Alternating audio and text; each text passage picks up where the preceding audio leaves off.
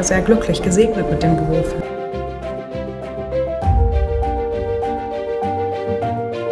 Es ist immer so dieses Kunst und oh, ich habe keine Ahnung von Kunst und ich weiß nicht, also ich glaube, jeder hat Ahnung von Kunst, weil entweder es spricht an oder eben nicht. Und ich glaube, so simpel ist es. Entweder das sagt dir irgendwas und ähm, du fühlst dich irgendwie hingezogen zu dem Bild. Das muss jetzt nicht unbedingt sein, weil du sagst, oh, wie schön, aber das kann auch sein, weil du sagst, oh, wie krass oder wie, wie cool oder wie, wie, wie traurig oder was auch immer halt irgendeine Emotion bei dir ausgelöst wird, dass du irgendwie hinguckst und sagst, irgendwie spricht mich das an.